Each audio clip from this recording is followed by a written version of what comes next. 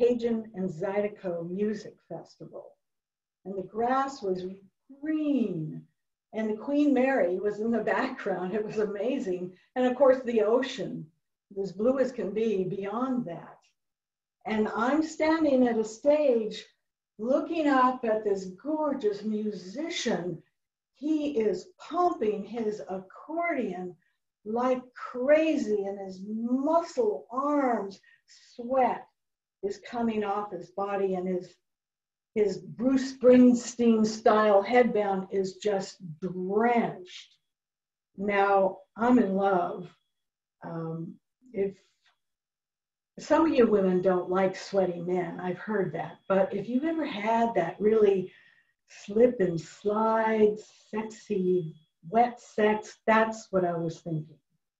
This musician was Wayne Toups. Wayne Toups was a Cajun band that was flown in, and this is Cajun, these are young white guys flown in from Louisiana, and they're the headliners. And I dance out in front of the stage, you know, so he can see me. And at the break, I go backstage because I'm on staff with the festival staff. I go backstage to the green room and I chat him up. And he starts to, go, oh, hey, girl, you, you're looking good down there. Oh, really? I just love your music. And blah, blah, blah. And then I get a picture sitting on his lap and, you know, real subtle flirting like that. Well, that night, all of the artists, the musicians, are staying in the same hotel. And around midnight, now I'm staying with my love interest at the time, Clint. He and I are staying in the room. And he's gone to take a shower, and the phone rings. Hey, girl, you want some company? It's, it's Wayne. I, oh, uh, hey, nice to hear from you. Uh, no, I have somebody here already. All night? Yeah, I think it's gonna it's gonna be all night. Sorry, I'm gonna have to catch you next time. Now, I know this was a booty call, and it might not the first booty call of, of the night for him because it was that late. But if I hadn't been with Clint, I probably would have gone for it.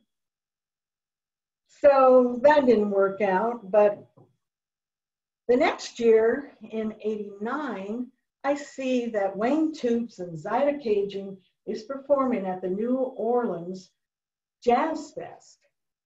And I've always wanted to go to Jazz Fest. So I call my girlfriend who lives in Lafayette, and we make arrangements to go. Before I leave, I talk to Clint. I say, Clint, is there anything I can get you in New Orleans? Because his band invited. He says, Well, you know, I need a new Neville Brothers t shirt. My purple one's getting kind of faded. Okay. Well, I get to the fairgrounds, the festival grounds. It's like eight football fields. It's enormous. There are 12 stages. The grass is a little bit wet from a rain last night, but the smells, oh, beignets and barbecue and everything. So I know the Wayne is down at the Fais Do-Do stage. I start heading down there, but then I pass this big, tall, handsome black man who's got a Neville Brothers t-shirt on.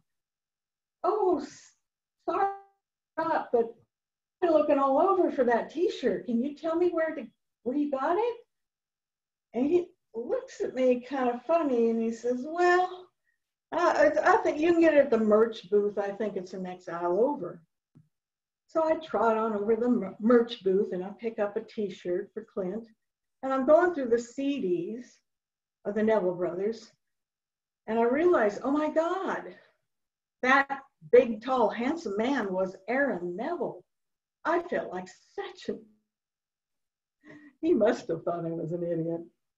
Well, I buzz on down to the Fais Do-Do stage where Wayne is, and he's starting to play. And again, he's all sweaty, and I'm liking that a lot. And I've danced down in front and kind of wave to him, and he smiles and winks. So I think he recognizes me. And on the break, we start to talk. he says, Well, we're playing down at Mulate's tonight.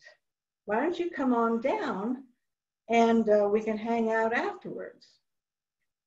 Now, I was pretty sure hang out afterwards was code for something else, but I was up for it. Unfortunately, Terry, my girlfriend, called home to her boyfriend who was supposed to pick us up, and he had to pick us up early. He, he's a, he was a roadie for Zachary Richard, and there was some mix up on the scheduling. Anyway, he had to go, and he had to pick us up early. In those days, there's no Uber, so, so no hanging out afterwards then. You think I'd give up. But six months later, Wayne's band is touring California, I notice. And I see that he's at Ashkenaz. It's a Berkeley nightclub, if you guys don't know. It's on San Pablo. It's well, well known. So I buy my ticket. I get there early. So I'm walking in the entrance. I see the big band bus pulled right out in front. I mean, it's shiny blue and it's the size of a greyhound. So I go in and I'm dancing, out, you know, in front of the band, and he smiles at me. So again, I think he rem- remembers me. And on the first break, he invites me in, uh, into the bus with the band. They're going to go sit in there, and we sit in there and have some beers. That's uh, you go in the front door, and there's a, like a little kitchenette, and then there's a little table there's some bench seating behind, and then there's some bunks in the back. So Wayne and I are sitting on the at the little table and drinking the beers, and our knees are touching. So I'm start, starting to think, yeah, this might be going the way I was hoping. Well, those of you who know Ashkenaz know that they put their used bottles out in front for the recyclers to come. And there was a black guy coming to get some bottles. And now remember, these are white guys in the bus. They start laughing at him and making fun. I don't really understand the joke. But then somebody uses the N word. And I'm, nobody know, I know talks like that. And they all laugh. And Wayne laughs. And I'm, I just slip off the bus. I don't know what to say, but I slipped out the bus and instead of going back inside, I walk across the street to the REI parking lot where everybody parks and I get in my car and go home. I'm thinking, oh my God, this guy who I thought was really sexy and fabulous, he just now seems kind of small and cruel. And the idea of sexy, slippery, sex with him sounds sort of nauseating. And you know, sometimes the road not taken is the best choice.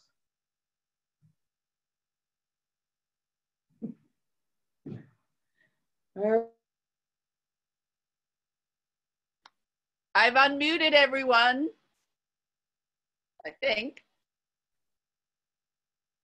You remuted us. Oh.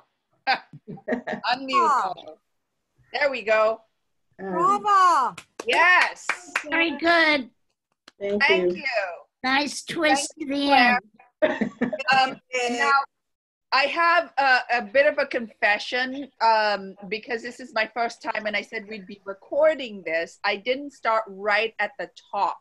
And um, so forgive me for that, Claire. And then um, Julius suggested, and he's master of, he knows a lot more about Zoom than I do. And I will put this to you, Claire, Sally, and Melissa, that he suggested that um, we all turn off our videos while you're telling, but I don't know how you feel about that. Oh. Do you like having the people there? Yes. Well, I, Yeah? I usually like to see myself. Um, it gives me a little feedback. Yeah. What about, yeah, do you see other, the other people? This time, for some reason, all I saw was Ida with no pictures, so I don't know what that Oh, was. okay. I Yeah, tried to you may, you it. may want to uh, uh, maybe go to gallery view. I'm not sure. Yeah, I, that was not worth it. Okay, so uh, to video. Uh, okay, um, so what's what's the um, I like this view with the, the with people? the yeah. Speakers there, and then there's just a few at the top. Okay, Yeah. all right. Okay, so we will keep people on video, and then now, thank you, Claire. Our second teller is Melissa Hobbs, and Melissa's story is titled 5 4 1970 when my childhood ended. And so um, give me a minute to mute everybody and then we will start up again. You will unmute yourself.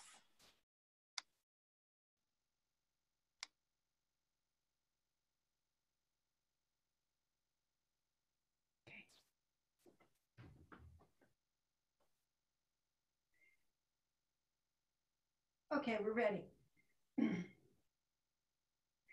Lately, when I walk up Solano Avenue, it's a ghost town of closed storefronts. I only go out for coffee and groceries.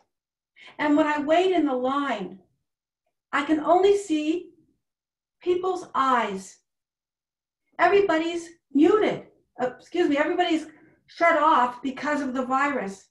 As my granddaughter likes to say, it's sick time, Gma, six feet apart. And all the university students have gone home, taking their idealism with them to their legal social bubbles where they can remove their masks. And speaking of mask removal, now is a time of BLM when Black Lives Matter is revolutionizing our whole society. Things are off balance, and we don't know where the center is. I continue walking up the sidewalk, and I see the yellow dandelions and the fluff of the seeds that will blow away. And I think of my father, and 50 years ago, when injustice ended my childhood. Let me take you back to that time. There I am in high school math class right after lunch on a Thursday morning, a Thursday afternoon in May. The bell rings, it's announcements. It's Principal Palermo. Ladies and gentlemen, we will have a school assembly immediately. Please report to the auditorium. We never have assembly meetings on Mondays. So all 400 students are there waiting, anticipating as the principal climbs up the steps to the stage and walks to the podium. Ladies and gentlemen, we will be evacuating the entire school. Across the street at Kent State University, at least one student has been shot and killed by the National Guard. What? You will need to remove everything from your lockers, for school will be closed for one to two weeks. Yay! Some cheer, others boo. What good is a vacation when somebody died? And you will go home with university employees. They will pick you up and take you the back way to your homes. And then I see the photograph of the 14 year old girl and think of the song by Neil Young.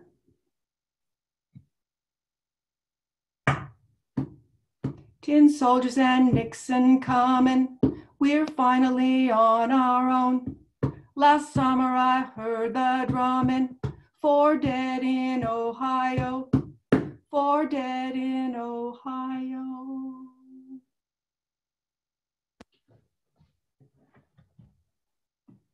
So let me take you back to the last two weeks of my innocent childhood in Kent, Ohio, my hometown. It's April 22nd, 1970, and we have inaugurated the first Earth Day in US history.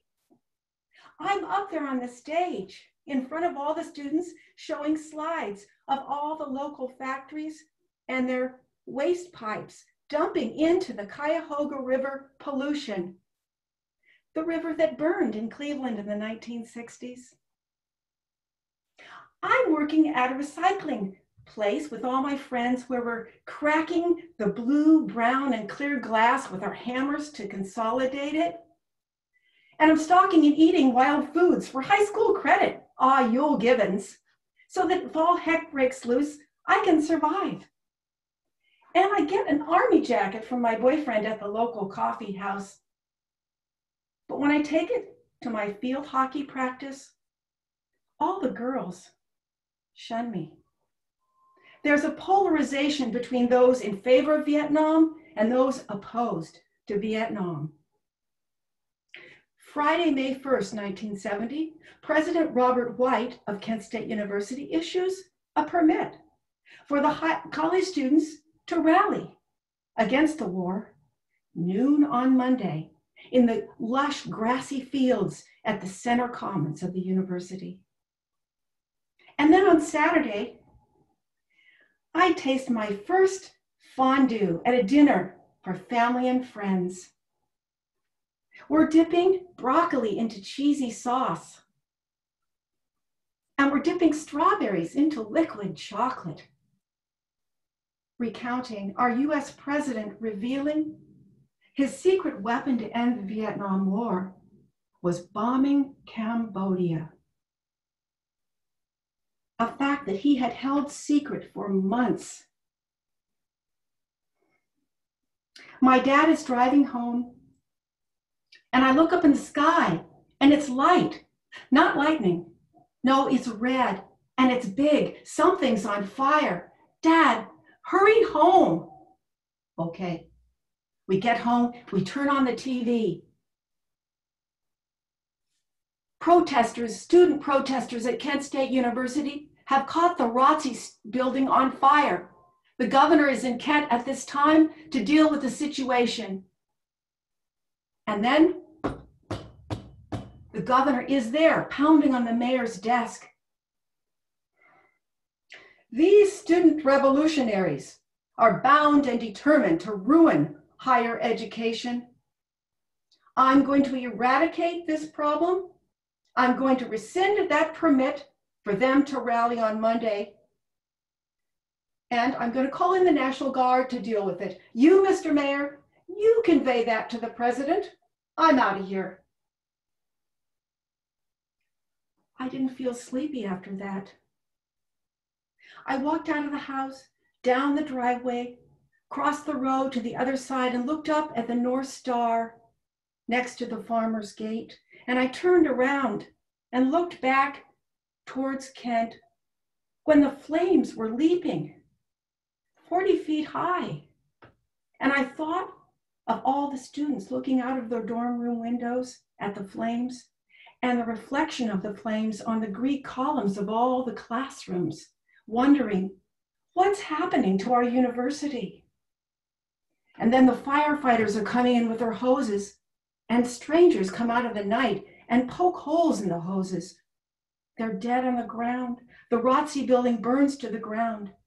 And I look up to the North Star and I say, I wasn't raised this way. Why are these students believing this? We're not supposed to use justice, uh, vi- violence to create justice. How could they do this to me? It's not going to bring the boys home. It's not going to end the war. But of course, the North Star didn't say anything. Next day, it's Sunday, and my dad is driving home after church. Melissa, I'm going to stop by my office to get some supplies before my botany class on Monday. I'm going to be dissecting Taraxacum officinale with my students. Dad? Dandelions. You know, they're on every continent on Earth. You see, my dad was a botany professor, and from the time I was five years old, he used to run up to me and chatter the Latin name of some weed. He liked weeds more than vegetables. Then come the next day, Monday, May 4th, 1970, 6:30 a.m. Yes, this is President Robert White. I would like you to print 12,000 flyers and have them ready by 9 a.m. What is it going to say? Do not come to the rally. The governor has rescinded the permit. Well, don't you worry about how I'm going to get them distributed. I'm just now calling the professors, the assistants, the secretaries. We'll get it distributed. Some students saw the flyers, some didn't. Some who saw the flyers said, wait, that's my First Amendment rights. I'm showing up. Now advance to noon, May 4th. 2,000 students on one side, 75 National Guard on the other. Now, some of these National Guard chose to work there instead of going and doing their service in Vietnam. They were local boys and they probably knew some of the university students. But it's 12 noon. Attention, students. This is an illegal assembly. Please disperse immediately or we will take further action. And on the other hand is the chief peacekeeper from my church, Glenn Frank. Students, I don't care if you've never listened to anyone before in your life. Please disperse now or they will shoot you. Jesus Christ, I don't want to be here. The National Guard threw tear gas. Some students picked up the canisters and lobbed them back, which was considered aggression. When the volley began, some students thought that they were just rubber bullets. But when they heard the pinging of live rounds, they took cover. And 13 seconds later, 12 had died. 12 had been shot and four died. Who was I to follow now? I'd been alienated by the students when the ROTC building burned. And now, what was I to think of the authorities who killed people to try to keep order? My childhood had caught fire when the ROTC building burned, and then it burned to the ground when those four students died. And then Mother Nature took her course. Two days later, there was a killing frost in all the farmers' fields around Kent. And July 4th that summer, there was a tornado which blew through Kent. And yet, even after all that unsettlement in the summer, by the fall in our school, the dress code was gone. The girls could wear their skirts all the way up to their buns, and the guys had their hair down to their shoulders and their sideburns down to their jaws. And I was still wearing my army jacket, Nobody seemed to be bothered. Except one day I was walking on the sidewalk and a man comes up, rolls down his window, and he says, You're a hippie. I could have you arrested for impersonating a military person. And I wanted to say, My governor lied to me, and my president lied to me. And you want to arrest me? Go ahead. But I said nothing. And then a month later, all the factories which dumped their pollution into Kent agreed they would stop dumping the waste. So I took off my army jacket. Why wear it now? I'd achieved what I wanted. Now, in place of my childhood innocence, there was a skepticism. And now, 50 years later, I've been living with skepticism. And I'm thinking, how much have we advanced? We've made some advancements for the environment, but there's a global crisis of extinction among the animals and plants, and we have global climate change. And our First Amendment rights have again been curtailed to protect from the COVID virus. And yet, the tragedy of another Black man dying at the hands of the police has evoked such catastrophic changes around the world that all the stumbling blocks of racism have turned into stepping stones towards justice. President Obama talked about hope and change.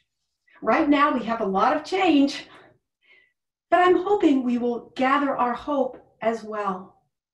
And I remember Howard Beale. You know, remember that movie, Network? I'm as mad as hell and I'm not going to take it anymore. We're right there. We're right there. And it reminds me of the song by Bob Dylan that I'd like you to look at the words and maybe sing with me.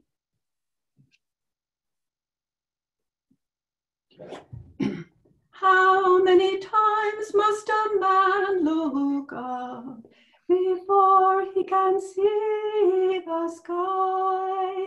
Yes, and how many ears must one man have before he can hear people cry? Yes, and how many deaths will it take till he knows that too many people have died? The answer, my friend, is blowing in the wind. The answer is blowing in the wind. And I'm reminded again as I walk up Solano Avenue of the yellow dandelions and their white fluff, which is spreading seeds all over North Berkeley. And as my dad talked about dandelions all over the continents of Earth, there are major changes happening, which are giving us the hope that we will have the changes needed to reestablish harmony in a new world.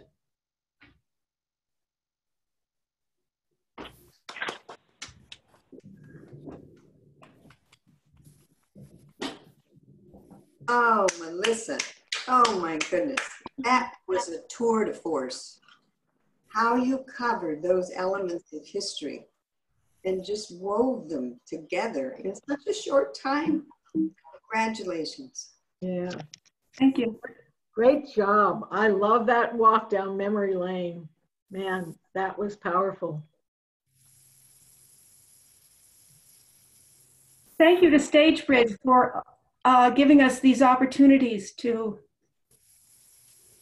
reveal ourselves, reveal our feelings.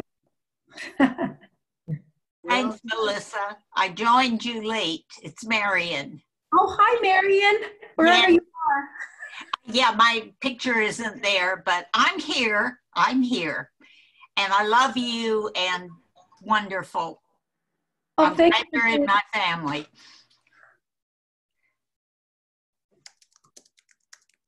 Marion is my uh, granddaughter's great Gma. Wow. yes. Okay, thank you so much for that wonderful story, Melissa. And um, we are now going to change tack and invite Sally Holzman um, to tell her story. And Sally's story has a very intriguing, for me, uh, title Forever Event. So let me mute all and then Sally can get started.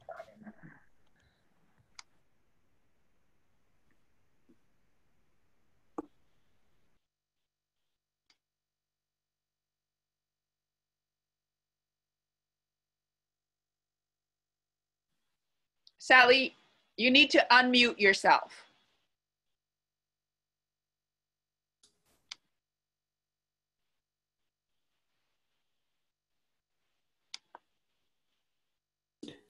There. Ooh. Is Yep. it all right? Hello, hello? Yes. You're good, Sally. Okay.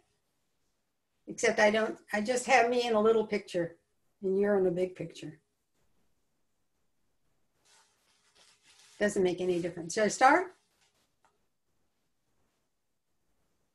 Yes. Okay, all right. Else, please mute. All right, here we go.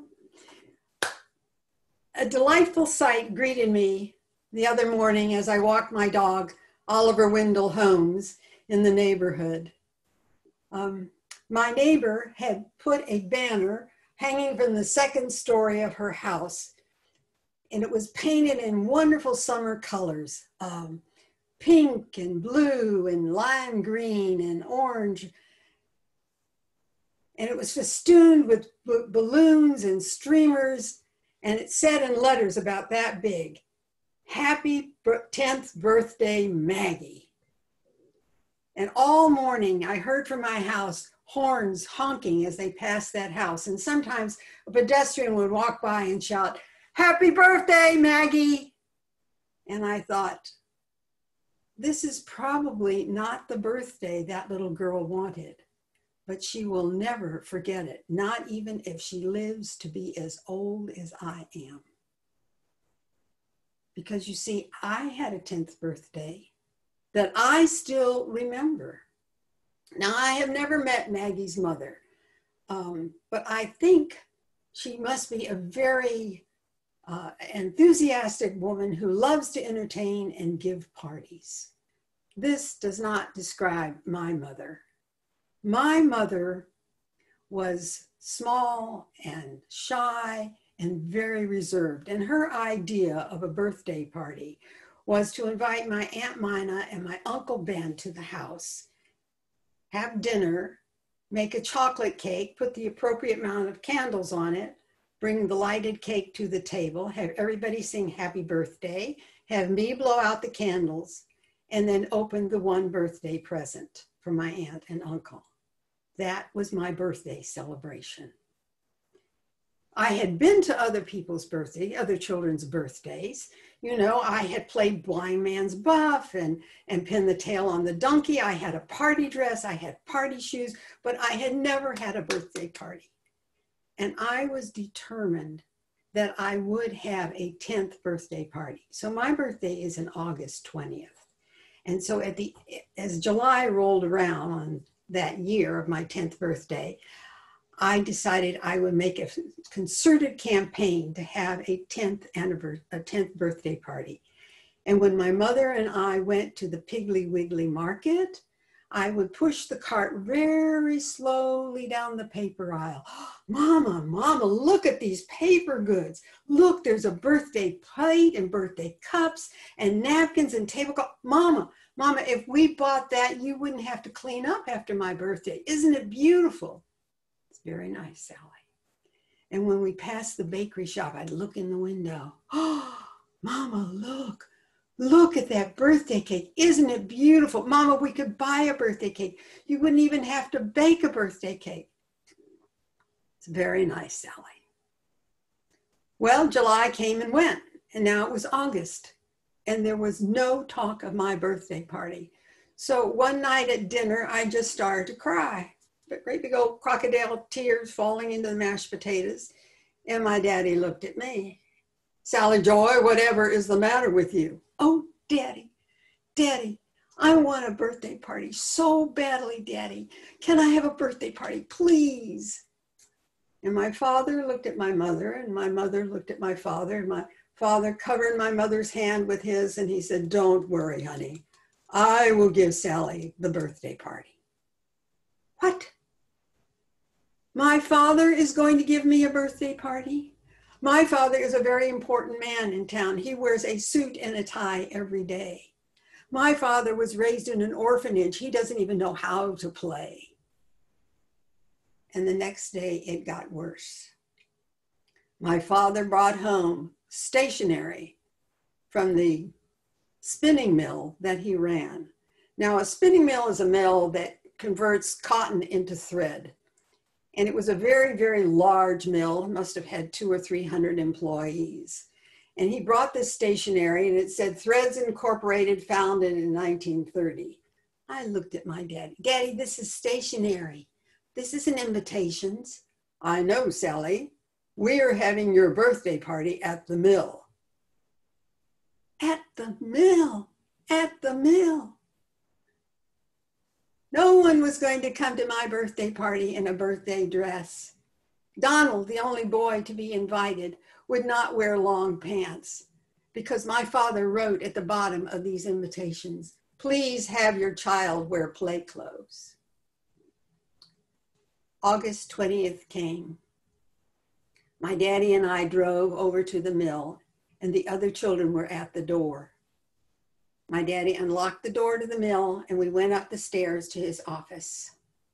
My daddy unlocked the door. I was dreading, dreading when that door opened. What would everybody say? The door to the office opened and it was full of balloons. There were balloons everywhere balloons on the bookcases, balloons tied to chairs, balloons on the Venetian blinds, and on the desk, the big oak desk, everything had been removed. And there was the birthday tablecloth and the plates and the cups, and in the center, there was the cake. My mother had been there. And then my father took off his coat. He put down his tie and he said, Come on, children, let's go play. And he opened up the the room, the adjoining room, which was the conference room. And it usually had a great big table, but the table was all gone. Instead, the chairs were still around as though the table was there. And on each chair was a great big spool of thread. And my daddy gave each one of us a spool of thread. And he said, Now, children, listen. Attach the piece of thread to a chair, and then we are going to make the most beautiful, the biggest, the most colorful spider web that ever was in the whole world. Are you ready? Go. And we began to let out that thread, and it went back and forth and back and forth and over the chairs and around the chairs and under the chairs. Stop. And we looked, and wouldn't you know, stretched across all these chairs was the world's biggest and most beautiful spider web. And then Daddy caught up Donald. Donald, you are the spider, and all these girls are flies. Go get him. And Donald chased us all around the room until the spider web fell at our ankles. All right, come on. We're going to go to the slide. And Daddy took us out to the mezzanine. And for a moment, we stopped and looked out at that factory floor, the floor of the mill, where the spinning machines just marched down one after the other like a platoon of soldiers. And it was so quiet. You know, it's a huge, huge factory. It's so quiet because a spinning mill is very noisy when it runs. It goes, but it was just quiet. And the sun was coming in through the windows and catching specks of cotton in the air, and they shone like silver. Daddy said, Come on, let's go. And we walked over to a great big tin slide. Now, in this mill, the, the bales of cotton were brought up to the mezzanine floor, and as they were needed, they were pushed down this slide to the main floor. The slide must have been at least a story and a half high. It was huge, huge. And Daddy collapsed, collapsed a, a box, put Donald on it, and gave him a push. Shoo! Down he flew to the to the main floor, and then each girl went after. down we went. Then we came back up the stairs and we went down in twos and we went down in threes and we went down singing, we went down clapping. It was so much fun. It was like a big ride in an amusement park. And finally, tired, Daddy said, Come on, let's go and have some refreshments. And we went into the office and Daddy poured us lemonade.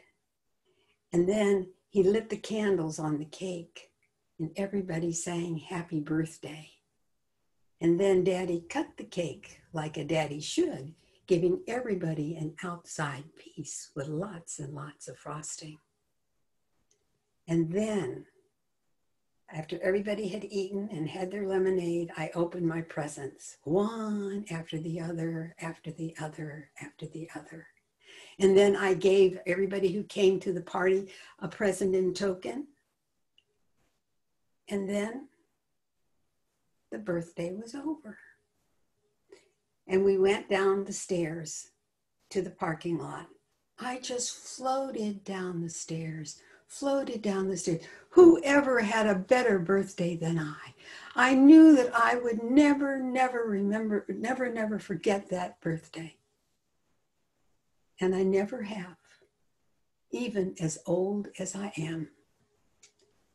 Happy birthday, Maggie. Happy birthday.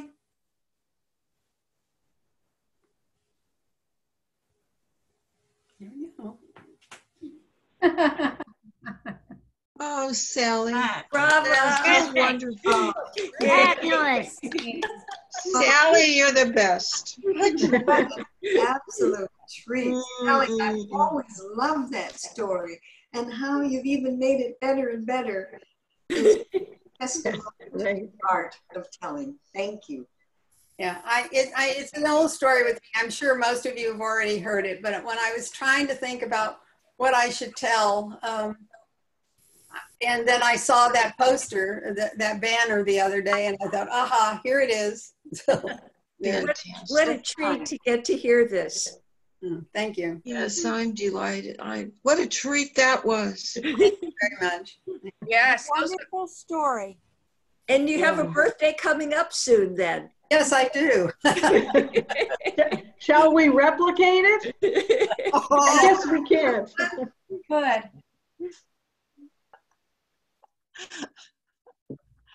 Well, I, I'd like to ask our tellers, do you have any other um, events coming up that you'd like to announce to? yes. You have a, you know, uh, audience out here, and if you're doing something, please let us all know. Claire? Uh, Yes. I don't have anything uh, upcoming. Um, I'll probably be doing a um, showcase with um, with one of my teachers, but uh, I don't know when that is yet. So Okay. Melissa, do you have something coming up? Um, yeah, I'm telling uh, two stories at the Marsh in Berkeley on Monday evening. Yay. Oh, okay. Uh, and maybe you can send that out to everyone. Okay. We can join. And Sally, what about you? Sal, and we have the Contra Costa Tail Spinners swap coming up next Thursday. Hope you all come. If you want to tell, you need to uh, contact Liz Nichols. And let's see, how can I get, um, is there anybody, how can I get a link to them? Uh, Uh, to Type it into chat. Type it Yeah. into chat. Ah, okay. Okay, I'll try to do that. Let me find my glasses. yeah so we have you know about six more minutes and what i'm going to do is i'm just going to um, give everyone the opportunity i have a hard uh, deadline at one so i'm but i'm going to just Oh, You're gone. we missed you. Clara, you're muted. Sarah, you're muted. Muted. muted. sorry so uh, i'll be back in a few minutes but uh, just um, go off camera and let people have the opportunity to visit for a few minutes i'll be back in about five minutes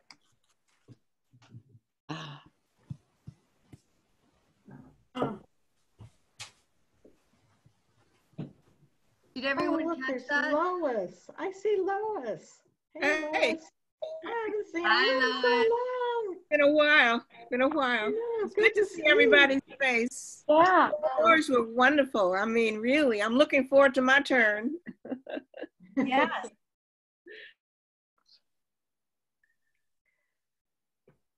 Well, I'm going to sign off, folks. Good Bye, to see you all. Good to see you again, Claire. Yes. Yeah, yeah, Agnes.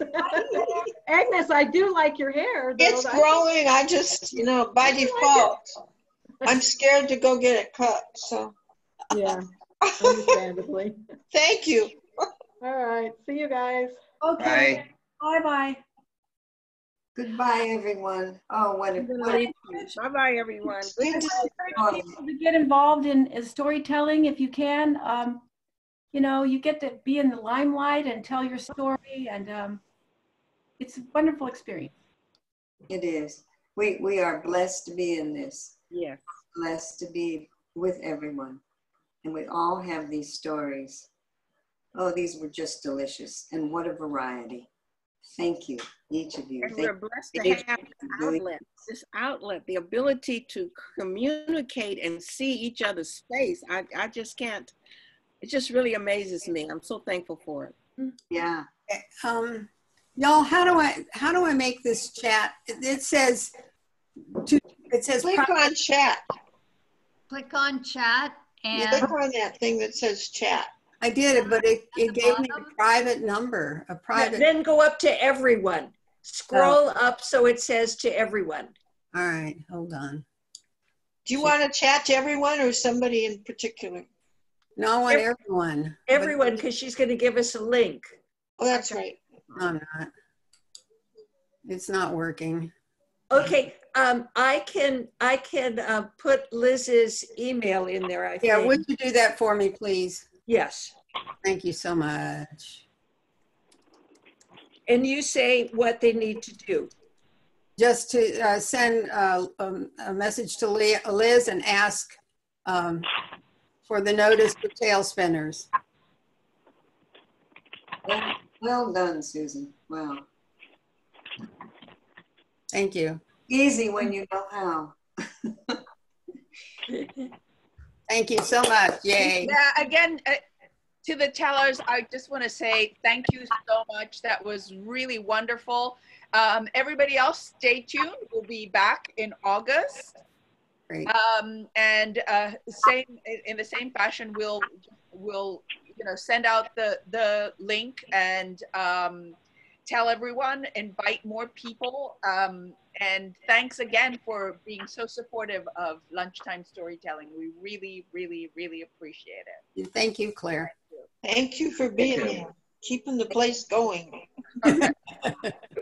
Okay, so um, I'm going to go ahead and sign off, and uh, everybody stay safe. Stay safe. You too. You all too. Bye. Bye-bye. Bye-bye. Bye